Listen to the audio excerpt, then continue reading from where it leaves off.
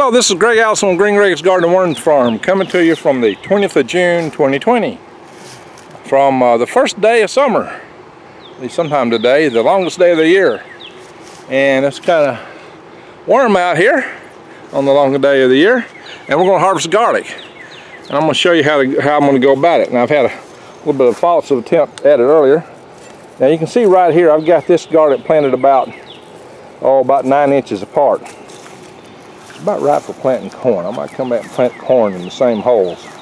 This is here next to the greenhouse. It might give the greenhouse a little more summer shade if I plant corn here. A little late for planting corn, but I can still give it a go. Now all that said, this garlic has played out. I really should have harvested this stuff back probably four weeks ago when the leaves first started to dry. When your first couple of leaves are dry, it's probably good enough for digging it up. Now this ground is very hard here. So uh, even though it was real soft when I planted it and the garlic's buried deep so I'm, i got to take some extra steps to get it out from what I thought I was going to do. In any event, I'm going to show you something. Where I planted it thick, the garlic grew real big. I had somebody tell me, oh Greg, you planted too thick, it won't grow. Well, it grew fine. But as an experiment, I planted some less thick and it didn't grow worth a hoot. So I, I find the growing it thick didn't seem to hurt it. At least in the stalk department. We'll find out more about the bulbs later. Now, because the ground is so hard and the bulbs are so big, I'm not going to be able to just dig right around this hole and get it out. I've had to come up with another strategy. I tried that the other day and it was just not working. So what we're doing here is we're coming in here and pulling up this cloth along the edge. And by pulling the cloth up on the, along the edge, as you can see here, I'm just going to raise it up and that'll give me some leverage to get off a distance from the garlic bulb with a regular shovel and or a fork and start to pry it loose so that I can uh, uh, use a garden fork so I can break the soil up and get it out without damaging the, either the bulb or the garlic. I mean the bulb or the uh, fabric here because I plan to reuse this fabric if I can. It's like a rated for like five years. That'll be good for at least three. Tear it up, so I'm just raising it up and I can get distance to get around here and dig. So that's what I'm to do. And I'll show how that's going to work here in a minute. So I got my garden fork and I got my deep shovel, which really good for digging trees. When I was a kid, my dad had a, a nursery and we used this kind of shovel right here a lot in digging trees up. It's real good for digging deep to get tap roots and things like that. So the chief objective though is to break this soil up at a distance away from the bulb so that I don't uh, damage the bulb and still get down in here. So there's two types of garlic. There's um, soft neck garlic and hard neck garlic. Soft neck garlic, when it's ready to harvest, it just wilts over, falls over. Hard neck does not. And, and elephant garlic, it's not really a true garlic, it's a leek, but it's hard neck. So you know, you harvest it different. All I got here is hard neck varieties. Let me show you how to support my channel and get your heirloom seeds at the same time.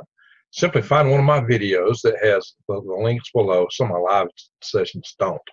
So I'd say go in here to this video. So go down here, to, you can either go to my pinned comments and click more, or you can go up here to show more here. There's two ways. It's redundant. Show more or pinned comments. Either way, you're going to find links to videos and various other things. But at the very top, what you're going to find, these things were supporting my channel, teamed up with True Leaf Market, and here's the link. Click the link to True Leaf Market. Bada bang, there it is. Here, your non-GMO seed source since 1974. And look here what all you can get. You can get garden seeds, microgreen seeds, sprouting seeds, wheatgrass. You can get supplies to grow these things with. Everything you need. All kind of seeds, things that you need to get your garden going. See, microgreens, I show you how to grow stuff indoors, gardening supplies. Let's say you want to grow carrots, bam, parsnips. And not only that, but True Market actually tells you how to grow your these carrots are out. Taste a little scrumptious. They tell you where it grows and how to plant them. You can't beat that. right here at True Leaf Market, an excellent source for your seeds. So please order, use the link below my channel, in my channel, in my videos. So please use the link and support my channel. Thank you very much. I'm gonna start up here just as an example. And this is a good distance off from that, but I've got it right there. Gonna get way down underneath it. Now this is uh, really deep buried garlic. Just breaking up the soil around and underneath. Might be able to pull it straight up I get it loosened up enough and I don't want to hit that other bulb over there next to it. Yeah, I think I've got something going on here. Maybe this is working. It sounds like it got loose there. Let's see what we come up with here. Ta-da!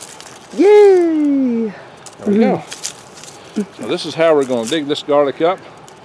I'll show you how we're going to hang it up in a little bit. If this worked, I had to break that soil up. So what you want to do when you do this, you just want to get the soil out of here as much as you can so it'll dry off. Brush it off, knock it off. We're not going to wash it. Because the objective is to keep this from getting wet. It's supposed to rain tomorrow, so I need to get all this up today. And that's the head of elephant garlic. Ooh. Maybe if I hadn't let, let the scape get so big and flower, it would have been a bigger bulb. That's still a lot bigger bulb than you get on regular garlic. Now, if I had let the scape grow, it probably would have been about yay big instead of this big. That's the difference. And to show you how good my garden is, we got a little guest hitchhiker here come up with a root. a little baby worm. And he will get to go back. so that's how I'm going to do it. I'm going to work it through here. And I'm going to dig this up. All this patch and more back there and more up there. I got lots of garlic to dig. This does have individual cloves in here. And uh, I will get with you and show you how I'm going to clean this up, tie it up, and hang it up. Okay, what you see here is a little garlic corm right hanging off from the root.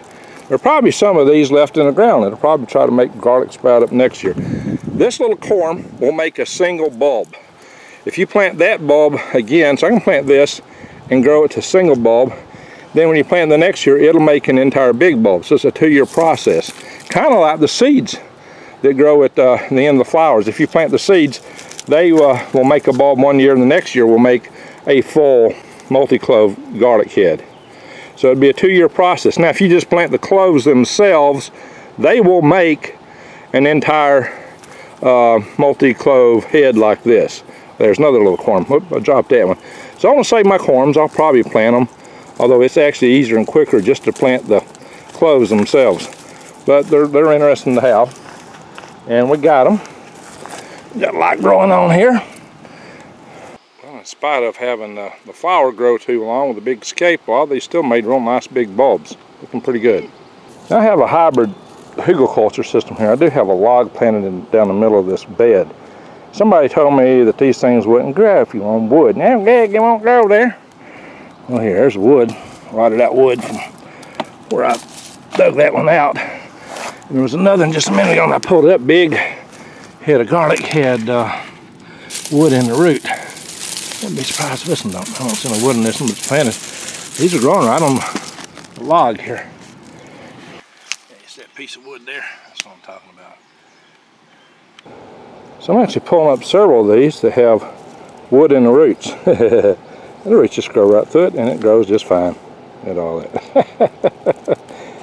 I pulled several like this. They grow just fine, not a problem. As long as the wood's punky and old. Or just somewhat old. See, look at that. Two side by side. Right in a log. Punky log now. Right in the log. There's the corms. There we go. See that? And check out Mr. Happy Worm there. Keep finding these guys in the roots. Well, they get to go back. no worms were harmed in the making of this movie. And check out all these little corms hanging on here. See that? So temporarily, I'm putting this stuff on this table. Just to get a start at drying while I'm still harvesting. At least it's in the shade. I had to get it out of the sun. You don't want this to dry in the sun. You want it to dry in the shade, but you want it to dry. I'm going to have to get it out before it rains. And so I'll ha start hanging this up before too long. I'll show you how to do that. And I'm basically going to hang it up from the lofters, rafters here above where I run the worms. Actually, these are not real rafters. The real rafters are up there. These are just some boards I laid across there holding things up. But that's where I'm going to put this garlic too. The good thing about this ground cloth is it served its purpose. It's kept the weeds out of here. As you can see, there's a few where there's holes, but not nearly the weeds that we normally have had. I've already not weeded this bed at all. Except I weeded behind back here. We got a, I'm gonna come in and plant cucumbers right next to this fence. And maybe I'll do corn here. You can see the way I'm digging this up, it's busting the soil up real good and making it good and loose, which will be helpful. Now with all the loose corms, I know we're not getting all the corms up when we pull all this stuff out. There's gonna be some down in here. So I imagine there'll be volunteer garlic coming up in here for some time. So I'm working with constrained space here. Mean, that's about as far as I can reach going across this bed. I've got the ones in the middle here, but getting the ones on the end without coming around to the other side is a pain. Now, 30 inch bed is normally the right size. So some of these I'm just having to reach in like this one, find the bulb and pull it out and pull it through. I don't want that. That's the easiest way to get this stuff out. Fortunately, this has been the ground too long and the stems are getting weak. That I didn't really want to have happen. Talk about that more in a little bit. But it's important not to break these stems you want them to dry properly. So I'm in here digging with my hand, trying to find the bulb and grab it by my hand like that and pull it out. Now, these bulbs are deep. That's a big one. Just pulling it through. So, dirt on it. Shake all the dirt off again here. That's the garden bed. Down there, wheelbarrow. Principle of organic gardening is good soil is living soil. And living soil uh, has microbes and fungi in the soil to help support the plants. But the plants also help support it. So by taking these plants out, I've got to replant in here real quick. So hopefully I'll get that done in just a few days. You know, ideally I should do it today, but I'm not going to have time to do it today. And it's supposed to rain tomorrow, so we'll see how that works out. I got to plant this bed back as fast as I can. More garlic growing out of the wood. And here is the garlic we got out of 175 foot long bed. It's a big pile of it here. I got to bundle it up and see exactly what we got. We did have a few that broke off. You know, the problem is that when you let it stay so long in the ground, some of the necks start getting rotted a little bit. It was too deep in the ground, stayed in the ground too long. It should have been got up earlier. And so the problem is you need to leave three to six, you know, excuse me, two to three inches of stem when you cut it so that it don't soak moisture in the air right up into the garlic because it needs to dry really good. And so that's a barrier. It keeps the air from going straight into the bulb. And some of these I just don't have that because it was, some of them are real good. Some of them just don't have that because it was uh, a little too, see, that's a real soft one right there. And soft. This one's nice and hard. That's nice and hard. That's nice and hard. A few of them just broke off, so I'm going to have to do something with those earlier. Probably cook them. There's some of my corms I got out of the ground. I'm sure there's a lot of them in the ground. And I'm going to tie this up. When it dries a little bit more, I can get some more of this dirt off, and eventually I'll cut the garlic beards off. I'll leave it on here a little while. We'll have to cut that off too, because that can moisture can soak up into that. So that's what we're going to do. Oh yeah, this is some other garlic that came up out of that bed too. This is not elephant garlic. I planted some other stuff. Something we got out of the grocery store, just trying it out. I don't even know what it is. it grew though. It's hardneck. It's cool. There's turmeric trying to get away from here. And I found just a few more corms in the bottom of a bucket I was using. I'm sure there's a whole lot still in the ground. I want to make it come up again next year. and there's still a lot of corms hanging on the roots here. I'm going to tie this in bundles of 20 each and hang it from rafters in my barn. I put my ladder in here, step ladder to hang it. Well, these aren't really true rafters. They said are just boards across here to put stuff on. I'm going to use some of the boards that are put on there for now too. I'll hang it across here, across there, where I can. And I may have to get some more to put down that way. So let's see how this goes. I'm going to do it 20 per bundle just because room is actually limited. I got lots of garlic. And this is just one of many beds. I got several beds. Several more to come up. Should have already had them up. Now, I'm going to use baling twine. Now, this is a roll of baling twine I had. I'll show you a secret about baling twine that some of my people I had working for me don't understand. They've been entwining it from this round and round and round the edge. Baling twine works pull it straight up out of the center. That's how the hay baler does it. And I know it. I used to run hay balers. it's a whole lot easier just to pull it straight up out of the center. So this is a nice little rope I can use to tie this stuff off. So I'm going to do, uh, show you how I'm gonna tie it. So what I've done here is I made two bundles of 10. I'm gonna try to cross them over and tie them, these two bundles together. I'll show you how I'm gonna try it. Now this is just me trying it, my first time. So see how this goes. Again, baling twine pulls out the top. I got plenty of it. If I mess up, I got another whole roll. They come two rolls a package. I'll these right here because each bundle is tied together with just a shoestring knot, nothing fancy. I'll tie this a little better. So I'm trying to get a cross pattern here. I'll just make a square knot here, old granny knot. My idea is to take these and have them hanging down like so over the rafters. Like that. I'll see how this works. Follow me here.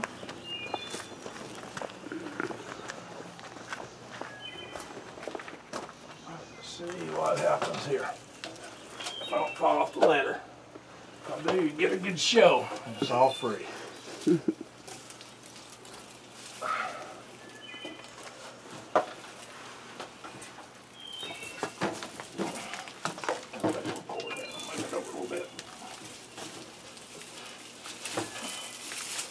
Yeah. That's my first hanging. Maybe I should have made a little higher up, but that's a start. That's the first garlic I've ever hung. See how that goes. And we'll go do some more. And that's awkward trying to climb this ladder in here to put these up. Shake your ladder. Because this whole ladder is about the same height as this in the first place. And handling all this gets to be interesting. So it kind of brave of me to get up here and do this while I'm filming. But essentially, what I'm doing is I'm taking one side of each of these and dropping on each side of the other. There. Like so. Hanging down from below. Just like over there they do go. Check out these garlic scapes. I cut these about three weeks ago and put them in this water and they're still fairly fresh. And in fact, bees are still coming to them. We still have honeybees, I mean not honeybees, mostly bumblebees like these for some reason. Bumblebees really love them. Look at that. And you know what? They're still green. You can still eat them. Isn't that amazing? I'm really wondering if they'll make seed. kind of strange. I kind of doubt it, but holy smoke. They're still making pollen and the bees still love them. That's amazing. Okay, with garlic, it's important that it dry out of the sun, out of the rain, in a place where the air can flow freely. And this part of my barn, with it being open as it is, qualifies as that. It's got a roof overhead, just out of the rain and out of the sun. And the air should flow, you know, fairly freely through here. And all that's important. I'm, I'm going to come back as that dirt dries off a little and dust it off and eventually I'll cut off the garlic beards but probably after you don't have to in the first two weeks. Really you got about a four week drying system. Two weeks like this and two weeks after you cut the rest of the scape off and the roots the garlic beard as some people call them garlic beards. I don't know anything about beards now do I? All right so what we got I got eight bundles of 20 uh, elephant garlic up here and there's 18 uh, that we kind of tore off when we were harvesting them from the scape. So that's 160 and 18. So it's 178 heads of elephant garlic plus we got 19 heads of just regular garlic. 19 and 100 and what I say 78 so 178 and 19 would be 197. so I believe we got 197 heads of garlic and 105 uh, separate uh, corms that we've already pulled out. And there's a few more corms hanging. So there we are. There we are, hanging up here,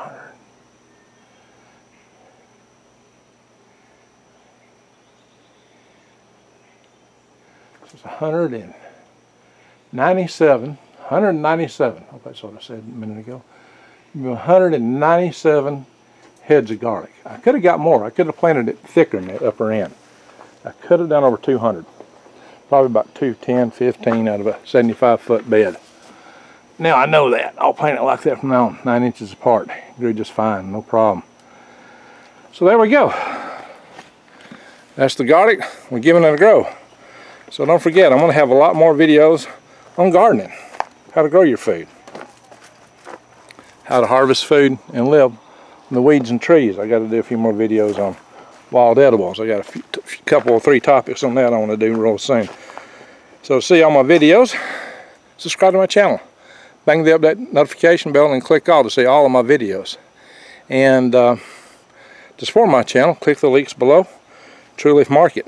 That's where you want to go to get your heirloom seeds. And right now you can still plant. I'm about to plant where I pull this garlic up. And I'll show you that too. But you know, you can still plant seed right now. So order your seeds right now. Make sure you have seeds. And you know what? You should order seeds for next season because you may not be able to anymore after this year. I just don't know. I would get ahead if I were you. And also you better consider right now is the time to prep. As things are coming at us. So please um, check prepwithgreg.com. You can get $100 off uh, one month food storage and you can go into my, my Patriot Supply through that link and get all kind of prepping supplies. And that'll definitely help you. One of these days, you know, if the good Lord's will and the creeks don't rise, I'll be selling more worms again. Maybe some other things, but uh, for now, that's it. Um, just remember, the proposition of this channel is to help you survive, thrive, and stay out of the hive. And one of those things is to grow your own food. And the food that I'm showing you is highly medicinal. I grow a lot of turmeric, garlic, and things like that. These are highly medicinal foods. Not what you'd eat for your main course, of course. That's another story for a horse. Anyway, everyone, much more to come. And I got some stuff coming up on electromagnetic pulse. I've got a major talk with uh, Dr. Peter Vincent Pry coming up. I'll be posting that either Wednesday or Thursday. I'll interview him on Wednesday. So we'll see how that goes. And thank you for watching.